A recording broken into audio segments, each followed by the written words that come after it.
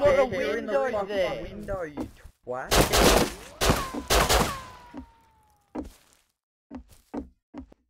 Dude, Dude, you, you, you seriously are the worst Rust player ever. Learn your English, you fucking Chinese cunt.